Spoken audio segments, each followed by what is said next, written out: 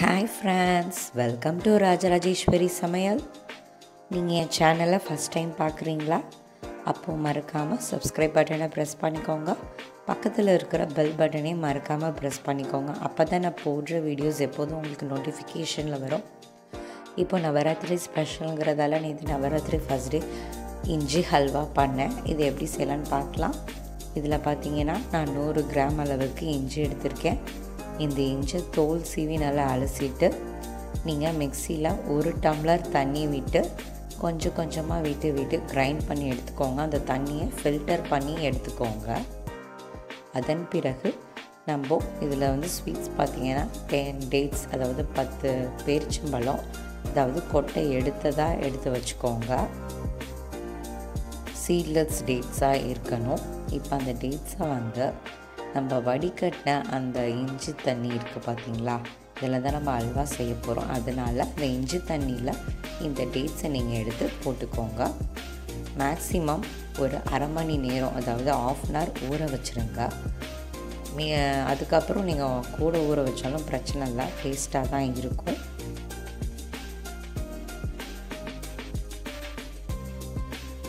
இப்போ பார்த்தீங்கன்னா அது நல்லா ஊறிடுச்சு. அந்த ஊறின அந்த தண்ணியில் ஒரு டீஸ்பூன் கசகசை எடுத்து நீங்கள் சேர்த்துக்கோங்க. கசகசை ஏன் சேர்க்குறோன்னா இது வந்து அந்த ஃப்ளேவர் வந்து நல்லா கொடுக்கும். பார்த்திங்கன்னா அந்த கசகசா டேஸ்ட்டே தெரியுது. அந்தளவுக்கு டேஸ்ட் நல்லா இருக்கும் இதில் அல்வா டேஸ்ட் குழந்தைங்களாம் விரும்பி விரும்பி சாப்பிடுவாங்க. இப்போது இப்போ எல்லாத்தையும் சேர்த்து அந்த இஞ்சி தண்ணியை கொஞ்சம் கொஞ்சமாக விட்டு நீங்கள் மிக்சியில் கிரைண்ட் பண்ணிக்கோங்க அந்த டேட்ஸோட ஊற வச்ச அந்த இஞ்சி தண்ணியோடையே அரைச்சிக்கோங்க. இப்போது நம்ம பேனில் ரெண்டு டேபிள் ஸ்பூன் நெய் விட்டுக்கோங்க. நெய் கூட சேர்த்தாலும் ஒன்றும் பிரச்சனை இல்லை. ஸ்வீட் எப்போதும் அருமையாக தான் இருக்கும். நெய் சில பேருக்கு பிடிக்காது. அதுக்கு தகுந்த மாதிரி நீங்கள் சேர்த்துக்கோங்க. இப்போது நெய் சூடானதுக்கப்புறம் உங்களுக்கு தேவையான அளவு முந்திரி திராட்சை போட்டு மீடியம் ஃப்ளேமில் ரோஸ்ட் பண்ணி எடுத்துக்கோங்க.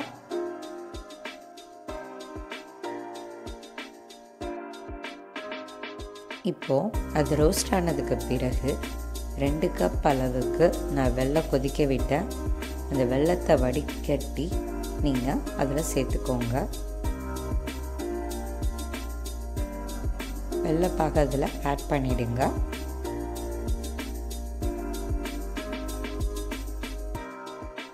அதோட நம்ம அரைச்சி வச்ச அந்த இஞ்சி தண்ணி கசகசா டேட்ஸ் அரைச்சி வச்சோம் இல்லையா அதை இதோட சேர்த்துக்கோங்க.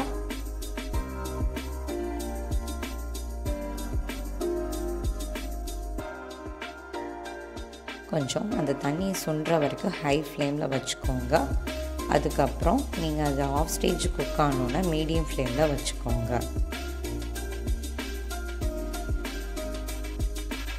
அதில் இப்போ ரெண்டு ஏலக்காய் தட்டி போட்டுக்கோங்க.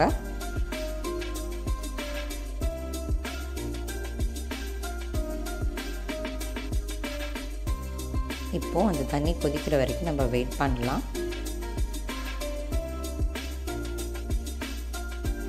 இப்போ பார்த்தீங்கன்னா நல்லா கொதிச்சிருச்சு. சொல்லிடுச்சு பார்த்தா உங்களுக்கே தெரியும். ஒரு ஹாஃப் ஸ்டேஜ் வந்து அது குக் ஆகிடுச்சு அதான் வெயிட் பண்ணலாம். அவ்வளோதாங்க. ஃபிஃப்டீன் மினிட்ஸ் ஆணுச்சு அது கொதிக்க. பார்த்தீங்கன்னா அருமையான ஹல்வா ரெடி ஆகிட்டு சுட சுட இஞ்சி ஹல்வா ரெடி ஆகிட்டு கலர் சேர்க்கவே தேவையில்லை. பார்க்க அவ்வளோ கலர்ஃபுல்லாக இருக்கு. மறக்காமல் அந்த ரெசிபியை ட்ரை பண்ணி பாருங்கள் குழந்தைங்களாம் விரும்பி சாப்பிடுவாங்க. இந்த மாதிரி நீங்கள் செஞ்சு கொடுத்தீங்கன்னா. இப்போ பாருங்கள் எவ்வளோ அழகாக வருதுன்னு வந்திருக்குன்ட்டு. மறக்காமல் இந்த ரெசிபியை ட்ரை பண்ணி பார்த்துட்டு உங்கள் ஃபீட்பேக்கை கமெண்ட் பாக்ஸில் சொல்லுங்கள் இது வித்தியாசமாக ஸ்வீட்டாக இருக்கும் இந்த ரெசிபி ட்ரை பண்ணி பாருங்கள் நெக்ஸ்ட்டு நவராத்திரிக்கு எங்கள் வீட்டில் கொலு இருக்கும். அதனால நாங்கள் வரவங்களுக்கு வந்து சுண்டலும் வெள்ளை கொண்ட கடலை சுண்டலும் பண்ணியிருந்தோம். இது ஆஸ் யூஷுவல் உங்களுக்கே தெரியும் வரமிளகா கடுகு கருவேப்பிலை நல்லெண்ணெய் சேர்த்து தாளிச்சிட்டு எடுத்திருப்பாங்க வேக வச்சு. இதில் நெய் தான் நெய்வேத்தியம் பண்ணும்போது நெய் தாளிக்கு சேர்த்திங்கன்னா ரொம்பவே அருமையாக இருக்கும். இந்த ரெசிபி உங்களுக்கு பிடிச்சிருந்துச்சா ராஜராஜேஸ்வரி சமையல் சப்ஸ்கிரைப் பண்ணுங்கள்